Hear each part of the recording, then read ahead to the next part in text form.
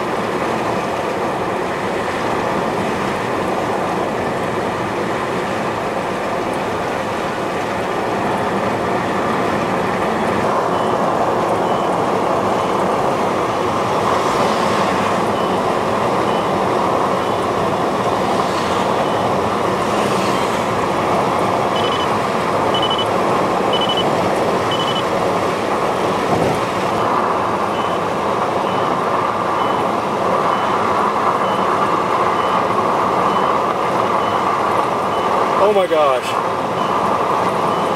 Vorticity looped around the outside. It's a very violent tornado.